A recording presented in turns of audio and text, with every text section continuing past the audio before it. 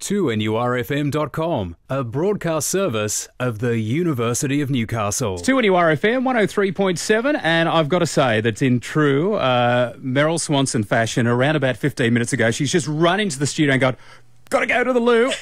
I'll be back in a minute. Nothing changed. And she's just woof, she's gone out the door.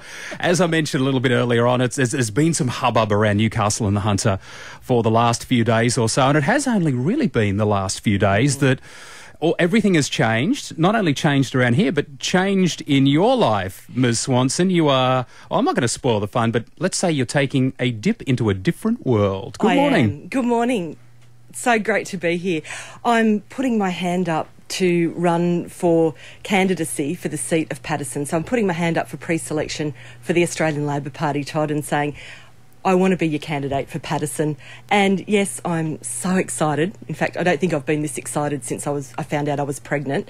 But I'm equally a little bit terrified too because it's you know it's a big step to say to the people of Paterson and more broadly the Hunter, I want to be your spokesperson. I want to stick up for you, be a really strong voice for our area. Well, it's interesting you say that you haven't been this excited since you've been pregnant because you're going to have a lot of babies to kiss, you're going to have a lot of hands to shake, and basically a, a lot of people to get to know. I've got to say, honestly, I'm not overly surprised because I know you're one of those people that in any way, shape, or form, you're a doer, not a sayer. So Thank when you. it comes to getting out into the community, when it comes to doing something, and it was interesting to read that you said that that's, that's the only way you really thought you could make change was by taking that step into politics. Not the only way, but another way. I love radio, Todd. You, you know how much I love radio. We talk about this a lot. It is such a great way to get to know your community. And I've talked to so many people over the last eight years, particularly from the Valley. And they've said, you know, my kids can't get jobs. I'm worried about my healthcare, what's going on in education. We need someone to stick up for us. And whilst I love talking to people and I love being an advocate on the radio, I know that I can make a difference if I get the chance to serve in Parliament. Well, it's one of those things. You're getting some skin in the game, and whichever Yeah. side anyone decided to go from, and, and one of the things that we've spoken about a lot on the air and off the air over the last well, probably 20, 30 years, but over a long period of time, politics should be a profession that is right at the top of the list when it comes to credibility. We, we joke about it, but unfortunately, it's not the case. And, and, and most Australians, most you know, average, everyday mum and dad, they don't. They don't believe politicians. They don't believe what they're going to say. So that's a bit of a tough call for you, but I suppose it's it's a challenge as well. It is a challenge, and I totally get that. I'm actually not a politician. I, I'm not. You know, I am just such a straight talking person who's passionate, and I'm not going to lose any of that, Todd. I want to take that. I want to take my qualities with me if I'm fortunate enough to get the candidacy. I want to take that with Yeah. me. And people who listen to me on the radio and who know me know that I've always, always been passionate about this area. I just love the place. I You love do. the people and I want to do something. And so I have got skin in the game. I've resigned from the job that I love and said, I want to do this because I think I can do a good job. Well, look, thank you because it's worked out very well. That uh, You're getting a sleep in. That's why you're happy. I, I know what you're up to. Yes, that's exactly right.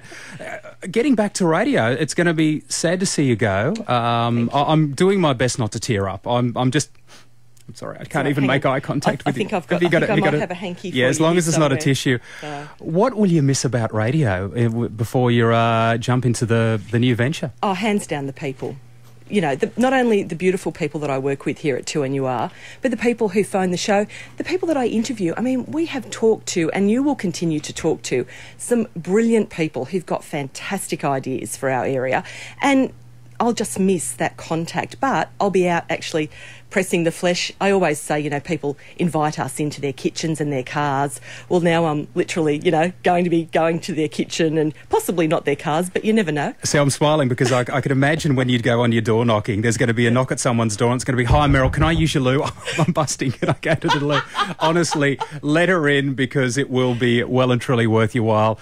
Look, uh, our loss is politics gain. We wish you all the best. It's been wonderful having you around and uh, you have brought so much to the station. It's been lovely just having your smile and your laugh. And from my point of view, it's been wonderful working with you. We wish you all the best. However, there's one problem I, I need to get on the record now. Sure. Lay it on that, me. That should, if everything moves through, I, I don't think I can ever call you the right honourable.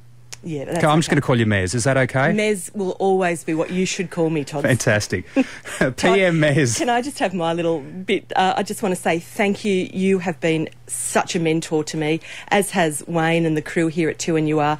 And I just want to say to our beautiful listeners, my dear listeners, thank you so much. Todd will look after you. I have valued your loyalty and friendship.